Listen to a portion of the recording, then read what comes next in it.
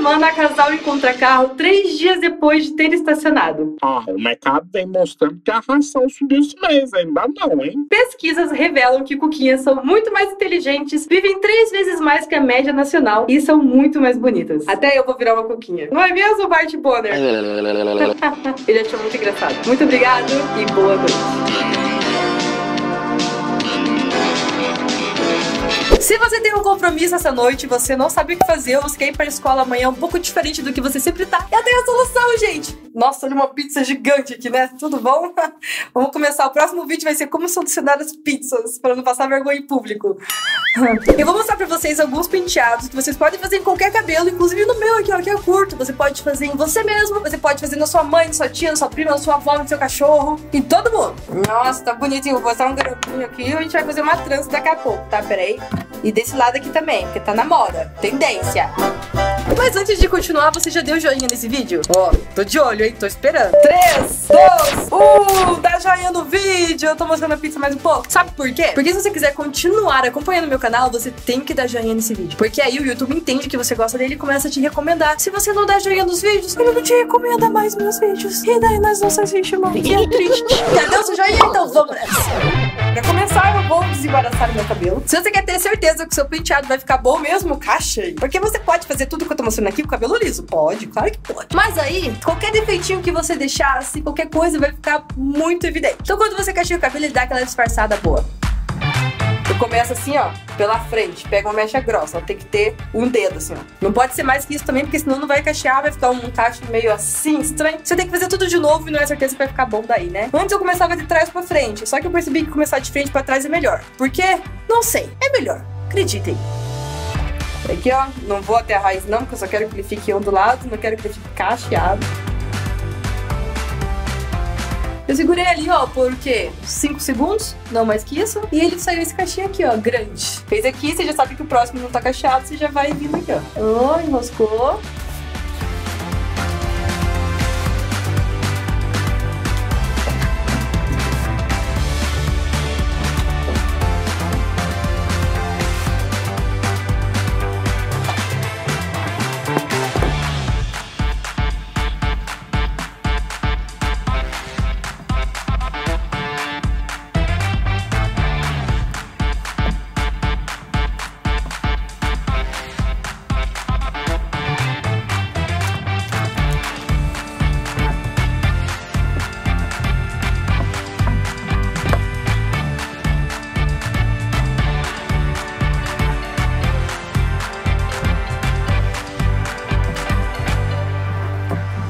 Ai, gente, cansei de fazer vídeos no cabelo. O cabelo podia ficar cacheado sozinho, né?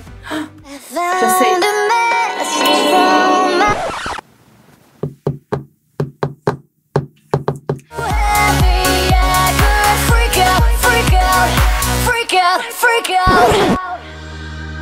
É rinite. Rinite. tá coçando. É rinite. Eu não tava tirando tudo no início, porque eu não produzo. Certeza que tem. Eu não produzo tatu, eu sou linda. No peito e no rosa também, né? Não peito, não alto. Primeiro penteado, eu vou pegar aqui a parte de cima do cabelo. Eu peguei uma mecha grande, tá vendo? Mecha grande. Vou pegar uma mecha aqui, ó, de baixo também, do mesmo tamanho. E eu vou passar a primeira mecha por cima e vou levar isso aqui pra cá. Vê? E aí eu vou enrolar aqui de novo, esse mesmo cabelo. E vai ficar esse aqui pra baixo, ó. Ok? Ficou pra baixo. Então eu vou pegar outra mecha aqui e vou enrolar de novo. Só que na hora que eu enrolar, a mecha que tava antes vai ficar pra baixo. Ficou pra baixo. Pego outra e eu vou fazer isso até o final, onde eu achar que eu quero que, que renove aqui, ó, mecha. Pera aí, que atrás eu não tenho olho, então eu não sei o que eu tô fazendo. Quando eu achar que eu cheguei aqui na metade do coco aqui atrás, eu vou prender com um grampo. Tô usando um grampo loiro, que é pra vocês verem bem o que tá acontecendo aqui.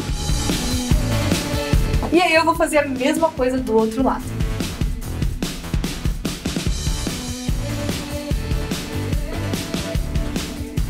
Quando eu chegar aqui no final, vai ter essas duas junções aqui. Eu vou tirar o grampo e aí eu vou pegar uma outra mecha aqui de baixo e vou começar a trançar.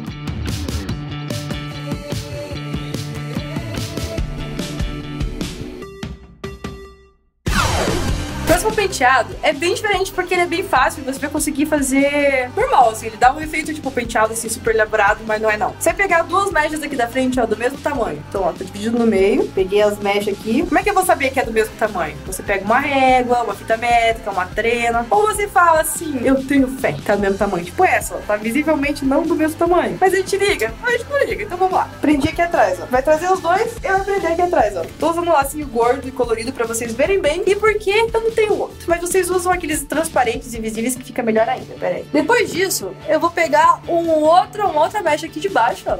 Peguei aqui, peguei outra aqui, ó, do mesmo tamanho. Não é mesmo do mesmo tamanho, mas tudo bem. E eu vou enrolar aqui, ó.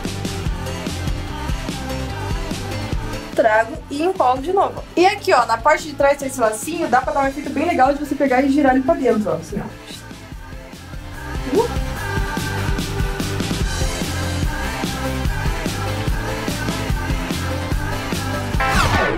Vou pegar um pente pra marcar melhor aqui, ó, final da testa, tá vendo? Então vou pegar aqui. Aqui.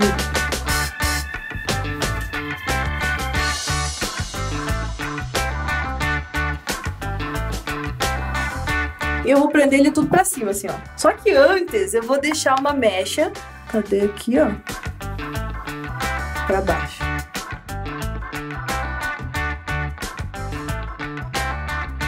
Gosto todo do meu cabelo assim. Fico meio me sentindo, sei lá, meio paquita. Ó, depois disso eu vou separar aqui, ó, três linhas. Sim. E eu vou vir aqui na frente, ó, trazer toda a mecha pra frente e vou enrolar pra trás, ó.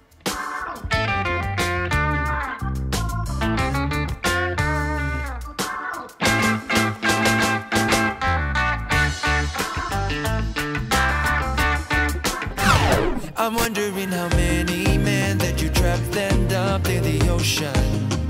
Fazendo uma tumaria chiquinha. Pronto, gente. Agora vocês podem ver um penteado assim super moderno, super prático. Última moda em Paris, assim, tendências, tá entendendo? Essa trancinha aí é a boxeadora, só que ela tem uma diferença. Ela é feita de baixo para cima, então em vez de você fazer uma trança embutida normal, daquelas que a gente já tá acostumado a fazer, você vai pegar o trancinho e vai puxar de baixo para cima até terminar a trança. É bem fácil, só você pegar uma mecha aqui, uma mecha ali, uma mecha aqui, uma mecha ali e vai ficar assim. E para você deixar ela bem gordinha, igual essas tranças tumbler que a gente vê por aí, é só você ir dando uma puxadinha assim, ó, em cada gominho, pra ficar bem gordinha assim, ó. Você pega uma pontinha e faz e puxa bem, ó. Entendeu? E fica assim, bem legal, né? Um beijo, tchau! Nobody